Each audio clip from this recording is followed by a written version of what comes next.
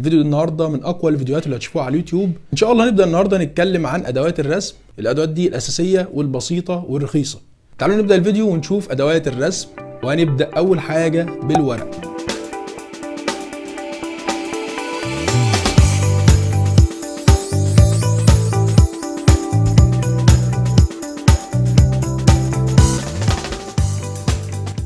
هنتكلم عن الورق لأن الورق بالنسبة للرسام عامل زي الأساس اللي بتبني عليه. يعني الورقة لو ما كانتش مظبوطة معاك أو كويسة أو تستحمل شغلك عليها هتتقطع منك وهتضايقك وتزعلك. أي فنان محترف بيجي يشتري الورق بيبص على ثلاث حاجات مهمين جدا.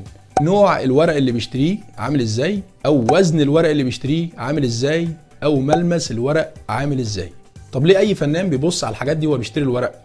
أول حاجة لو نتكلم عن نوع لو جبت نوع رديء وأنت بترسم عليه هيتقطع منك وانت شغال عليه لانك كمبتدئ بتبقى إيدك تقيلة في الرسم. وطبعا في بدايتنا كلنا بنغلط كتير ونفضل نمسح ونعيد تاني رصاص ونمسح ونعيد تاني رصاص. فمع استخدام ورق نوع وحش الورقة هيتقطع منك في الرسمة وهتحبط وهتزعل جدا وهتقول أنا فاشل في الرسم. عشان كده نوع الورق مهم جدا عند الرسام.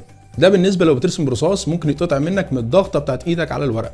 أما بالنسبة للألوان الألوان عبارة عن تكوين طبقات كتيرة فوق بعضها على الورقة. فلما انت تلون على ورق يعني وحش هتلاقي الورقه بيتقطع منك. كل ما تضيف طبقة من لون أو تحرك الفرشة كتير على الورقة هتدوب الورقه منك وهتبوظ وهتتقطع برضه وهتحبط. عشان كده لازم نركز على نوع الورق اللي هنرسم عليه في البداية.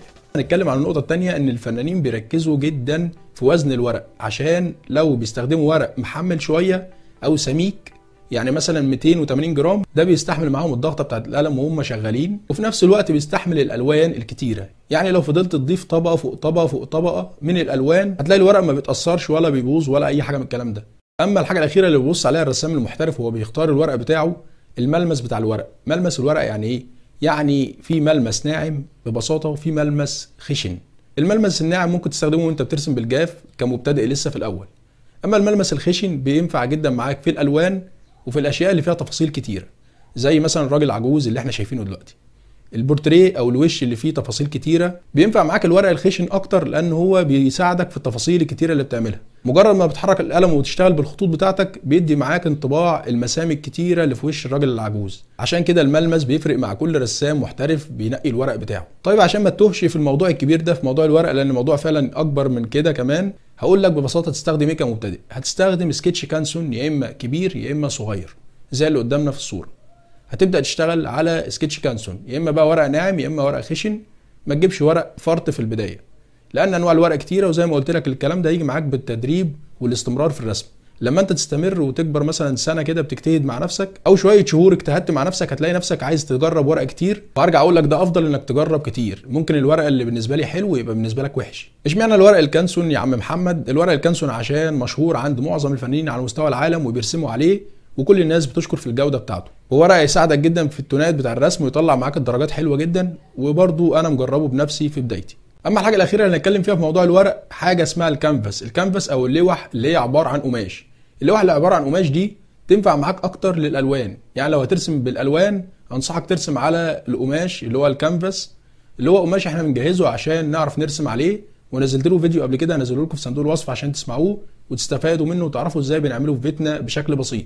اللوح الكانفاس زي اللي قدامنا في الصورة كده القماش دايما بيستحمل الألوان عن الورق وهيبقى جودته أفضل وهيستحمل معاك إنك تعيد وتزيد كتير في الرسمة عشان تتدرب أكتر. فاللوح اللي هي الكانفاس القماش دي أفضل كتير للألوان السائلة. الألوان السائلة زي الزيت والألوان الأكريليك والألوان المية. هي دي ببساطة الألوان السائلة.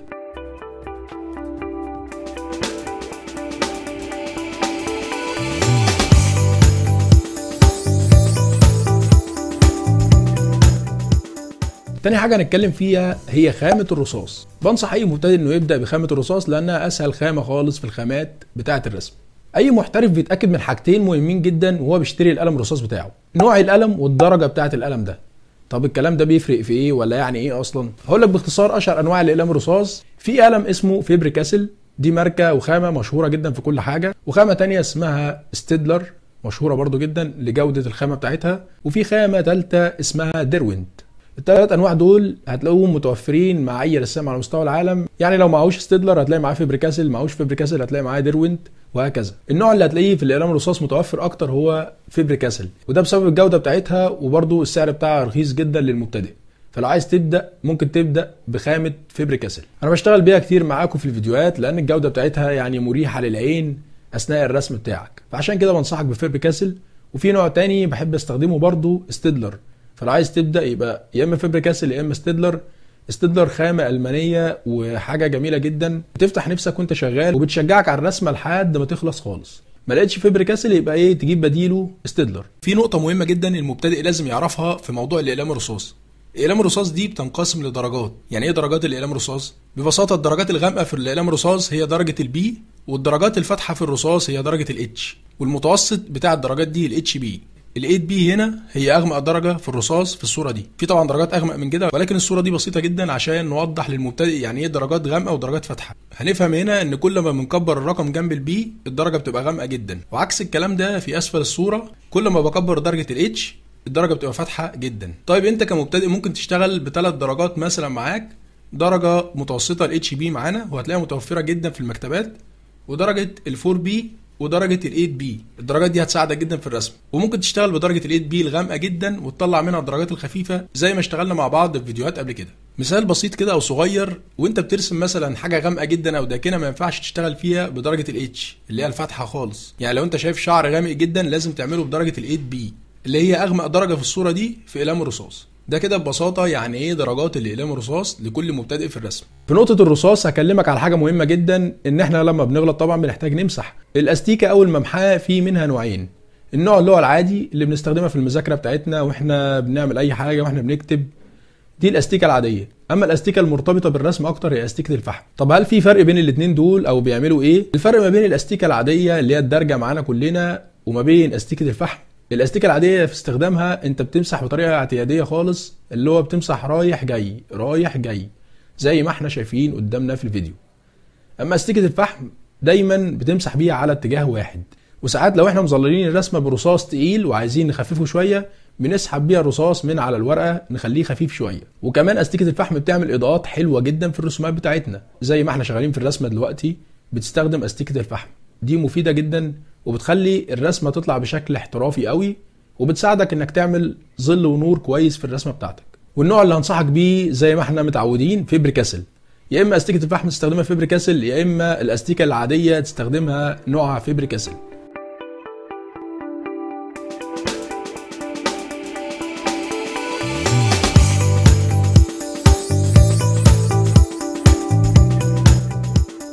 هنتكلم دلوقتي عن خامة القلم الجاف. القلم الجاف لو أنا عايز أرسم بيه أبدأ أختار أنواع إيه أرسم بيها. لأن السؤال ده بيجي لي كتير جدا. أدوات القلم الجاف هي من أبسط الأدوات في الخامات كلها.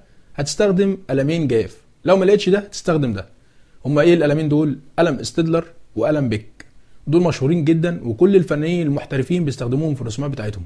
ليه بيستخدموا Staedtler أو Bic؟ Staedtler عشان بيطلع معاك tone ات ودرجات حلوة جدا في الرسومات بتاعتك وبيسهل لك عملية الدمج لما بتعمل خط جنب التاني بيسهل لك عملية الدمج كتير جدا في الرسومات ويبسط الحاجة معاك وانت بترسم. أما عن ال Bic والمتعارف أكتر اللي الناس بتستخدمه القلم ال Bic مشهور جدا في ال tone ات بتاعته والدرجات بتاعته وانت بترسم بالجاف ومش بيسيل منك حبر وانت شغال وبيطلع معاك رسمة متناسقة وشكلها جميل جدا وكمان لون الحبر بتاعه حلو وبيفتح نفسك في الرسم. عشان كده القلم ال Bic أنا بنصحك بيه ولكن لو ما لقيتش القلم ال Bic في بديل ليه هو قلم Staedtler. تمام؟ دي من أفضل أنواع الاقلام الجاف اللي هتساعدك في رسومات الجاف.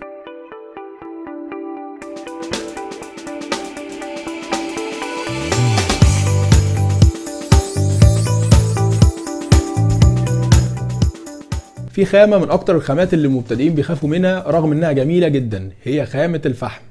خامة الفحم يا جماعة من أجمل الخامات اللي ممكن ترسم بيها وتطلع لك رسومات واقعية وشبه الحقيقة 100%. هبسطها لكم بطريقة سهلة قوي فركزوا في كل نقطة هقولها. خامة الفحم ليها شكلين مختلفين عن بعض. في نوع اللي هو القلم الفحم العادي الدارج معانا كلنا وفي نوع تاني اسمه سن الفحم. بيبقى عبارة عن سن كامل من الفحم ما بيتبريش ولا أي حاجة القلم الفحم يا جماعة لو أنت لسه مبتدئ ما تبرهوش بالبراية نهائي عشان لو بريته بالبراية يفضل يقصر معاك لحد ما يبقى قد عقلة صباعك وفي الآخر هتحبط وتزعل جدا. فعشان كده القلم الفحم بيتبري بالقطر بطريقة سهلة جدا. وهنزل لك فيديو كنت ببري فيه القلم الفحم عشان تعرف إزاي بتبري ويسهل عليك الموضوع ده. النقطة دي أحبطتني في الأول عشان كده أنا بأكد عليكم في النقطة البسيطة دي. وفي خامة الفحم هكلمك برضو على الدمج. الدمج كنت بحذرك منه كتير في الرصاص. ولكن هنا لازم تدمج في القلم الفحم لأن هو طبقاته غير الرصاص ولازم في الشغل بتاعه ندمج عشان شغلنا يطلع واقعي بشكل جميل جدا. لما بنيجي نشتغل على أجزاء صغيرة أو ضيقة مثلا على الورق بشتغل بقلم الدمج عشان هو يعرف يجيب لي المساحات اللي هي الصغيرة لأن بيبقى ليه سن زي القلم فيعرف يجيب لي التفاصيل الصغيرة اللي أنا عايزها. أما لو هاجي أشتغل على مساحات واسعة من الفحم لازم أستخدم معايا فرشة ناعمة. أي فرشة ناعمة عندك سواء فرشة make up ودي بيستخدمها معظم الرسامين لأنها بتساعد في الرسمة بتاعتك قوي وبتقفل مسام الورقة بشكل جميل جدا. من الحاجات المهمة برضو وأنت شغال بالقلم الفحم عشان ما يهببش منك الورقة ويبوظ في البداية لازم تحط ورقة تحت إيدك زي ما انت شايف دلوقتي في الفيديو. دي حاجات مهمة جدا ودي حاجات أساسيات للقلم الفحم. الفرق يا جماعة بين قلم الفحم وسن الفحم. سن الفحم دايما بستخدمه في المناطق أو المساحات الواسعة. يعني لو عايز أعمل خلفيات لرسومات معينة بستخدم سن الفحم. لأن القلم الفحم ياخد وقت مني إن كل شوية هبريه وأخلي السن بتاعه مظبوط ولكن سن الفحم بيعمل معايا مساحات هايلة جدا من الفحم وممكن أرسم بيه على مساحات واسعة. عشان كده سن الفحم بيختلف عن قلم الفحم.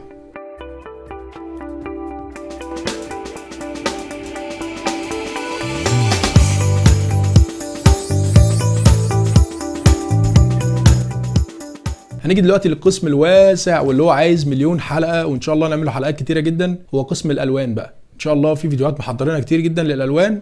هتبقى جميلة جدا وبسيطة وهتعجبكم الفترة اللي جاية. عشان كده محدش ينسى الاشتراك في القناة وتفعيل الجرس عشان أول ما انزل الفيديوهات دي توصل لكم أول بأول. أول حاجة في الألوان هي الألوان الخشبية اللي مشهورة. هنبدأ بألوان Faber-Castell. يا إما هنشتغل بعلبة ألوان Faber-Castell اللي هي الكبيرة يا إما الصغيرة. وأنا بشتغل بيها في كل فيديوهاتي. وبشتغل بيها في رسوماتي دايما وبطلع بيها الرسمه جميلة زي ما إحنا شغالين دلوقتي في الرسمة اللي قدامكم فالحاجة بسيطة وبتطلع حاجة جميلة معاك وهي أرخص حاجة للمبتدئ لو عايز يبدأ ولو انت عايز تساعد طفلك الصغير تجيب له ألوان فهي دي متاحة للجميع ويعني في متناول الإيد. فعشان كده بنصحك تبدأ بألوان Faber-Castell اللي هي ألوان خشبية اسمها ألوان خشبية مائية.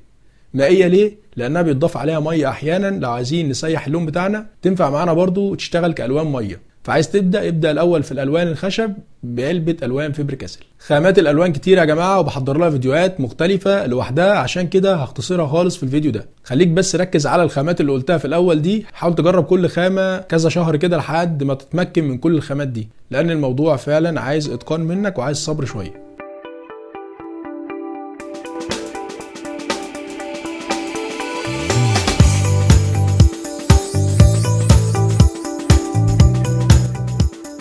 هنيجي دلوقتي على خامة الألوان الزيت. ألوان الزيت من الألوان الجميلة جدا وبتفتح نفسك في الرسم وليها ستايل مختلف كده في الرسومات بتاعتها. في نوعين مهمين جدا لكل مبتدئ لو عايز يبدأ بألوان الزيت. نوع اسمه ماريس ودي خامة مشهورة جدا والسعر بتاعها في متناول اليد يعني. وفي خامة تانية اسمها بيبيو. النوعين دول يا جماعة من أشهر الأنواع وسعرهم يعني بسيط. خامة ماريس وكان في ألوان تانية معاها برضو مش متذكر اسمها قوي. كنا عملنا بيها تحدي قبل كده أنا وبابايا في القناة عن الرسم بالزيت وكل واحد رسم شجرة بطريقة مختلفة. فبنصحك بيها لو عايز تبدأ ترسم بخامة الزيت. إن شاء الله يا جماعة الألوان محتاجة حلقات كتيرة جدا فعشان كده هعمل لها حلقات تانية. فهكلمك باختصار عن أبسط الأشياء اللي تبدأ بيها كمبتدئ في الرسم.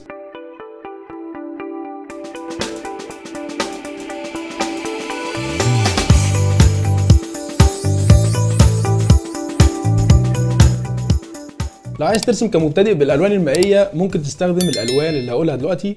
ألوان اسمها أورا ألوان بلاستيك. الألوان البلاستيك دي بتاع الدهانات بتتخفف بمية وسهلة جدا وممكن تجرب نفسك فيها في البداية كتير وهتطلع معاك حاجات جميلة جدا وأنا جربتها كتير قوي في رسومات كتيرة ومعظم شغلي كله بيها. وأسعار الألوان البلاستيك دي لا تذكر بالنسبة للألوان الغالية التانية وفي نفس الوقت بتعمل نفس الحاجة اللي الألوان الغالية بتعملها. فعشان كده بنصحك بألوان البلاستيك اللي اسمها أورا تجيبها وتجرب نفسك بيها في البداية كتير جدا. أو ألوان اسمها poster. ألوان poster دي ألوان مية برضو تنفع لكل الناس اللي لسه بتبدأ في الرسم.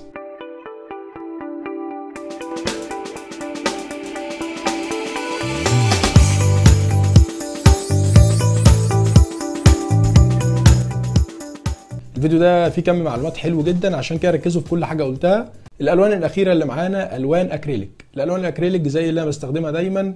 واستخدمناها في فيديوهات برضو كتيرة. ألوان عبارة عن أنابيب موفرة وحلوة جدا إنك تجرب بيها نفسك في البداية. موضوع الألوان ما خلصش كده يا جماعة. إن شاء الله أكلمكم في فيديوهات كتيرة باستفاضة أكتر عن كل لون وإزاي بنركب ألوان مع بعضها وإزاي نشتغل بالألوان الأساسية بس ونطلع منها الألوان الثانويه إن شاء الله بحضر فيديوهات مختلفة مختلفة فعلا على اليوتيوب لموضوع الفن لأن أنا نفسي أخلي الناس كلها تحب الفن. ويوصل لكل البيوت لأن الفن حاجة جميلة جدا. وحياتنا كلها عبارة عن فن فن في الأكل فن في التعامل فن في الرسم. فالفن حاجة مهمة جدا في حياتنا. عشان كده محتاجين دعم قوي الفترة اللي جاية. إن شاء الله نوصل لمليون مشترك ونحقق أحلام كتيرة مع بعض. وإن شاء الله تبقى سنة سعيدة لكل الناس وكل الناس تحقق أحلامها. إن شاء الله آمين يا رب. شوفوا فيديو جديد أجمد فنانين على الكوكب. والسلام عليكم ورحمة الله وبركاته.